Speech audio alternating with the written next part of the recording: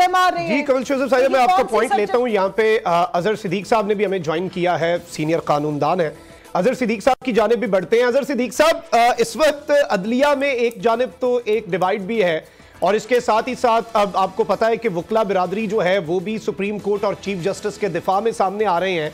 तो इस सब में डू यू थिंक के we are at the verge of a new lawyer movement एक और मूवमेंट जो एक पहले भी हमने देखी और बड़ी कामयाब भी रही। क्या हालात उस तरफ़ को जा रहे हैं? क्योंकि हुकूमत जो है वो तो मुकम्मल तौर पर चढ़ दौड़ चुकी है और अदलिया जो है उसके साथ खुली जंग है।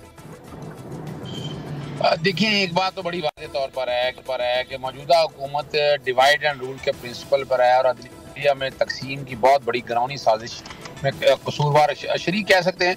उन्नीस सौ सतानवे में यही वो चेहरे थे जहाँ जस्टिस सजाद अली शाह साहब की कोर्ट के साथ इन्होंने जो कुछ किया वो हम्म। रिकॉर्ड में लेकिन ये अब उन्हें अंदाज़ा नहीं है जस्टिस सजाद अली शाह साहब का दौर नहीं है।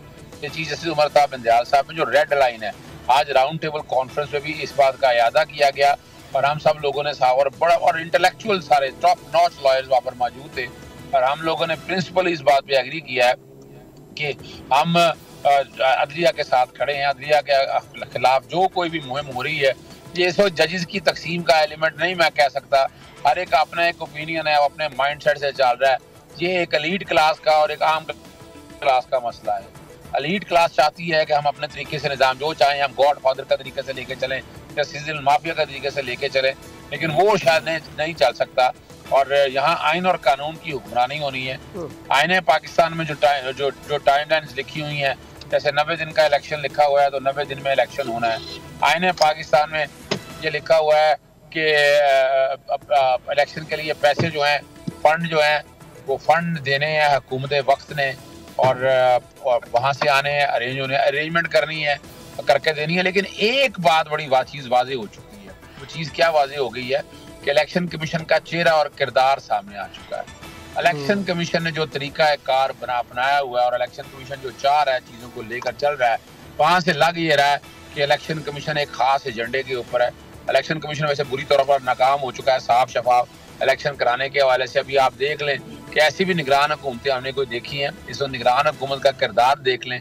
और चूँकि चूज़ इलेक्शन कमीशन ने की गई है और आए हारे को पता था कि पहले दिन से मुझसे नकवी नहीं आना है और उसको जिस तरह मुंतखब किया गया फिर जिस हम्म। तरह उसने ट्रांसफ़र पोस्टिंग की इलेक्शन कमीशन एक टूल के तौर पर किरदार अदा करता रहा इलेक्शन कमीशन ने कोई ऐसे हालात नहीं पैदा किए कि उनको आसानी दी जा सके साफ़ शफाफ इलेक्शन के हवाले से और जो भी प्रागंदा खेल खेलती रही है निगरान हुकूमत आप देख लें यानी मेरे ऊपर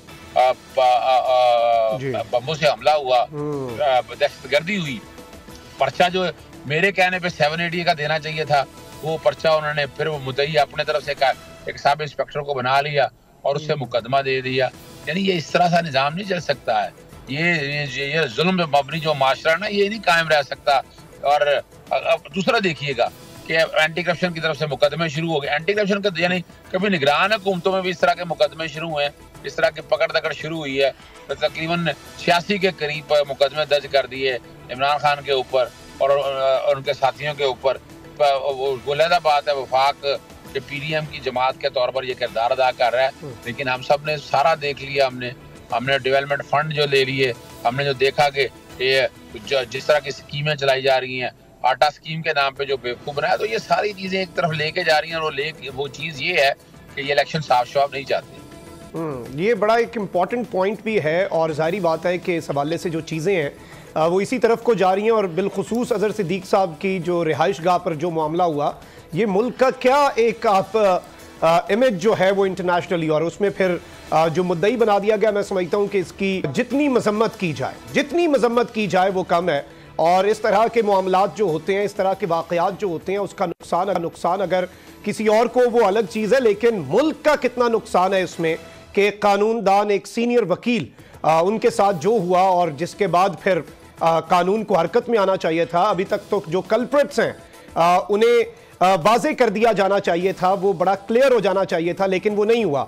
और जारी बात है सब अजहर सिद्दीक साहब के साथ खड़े हैं और ये बड़े टेस्टिंग टाइम्स हैं। बोल न्यूज़ जो है आ, हमारे साथ कितने वाबस्ता सहाफ़ी और बोल न्यूज़ को भी आ, जितना विक्टमाइज किया जा रहा है जो मार्केटिंग हेड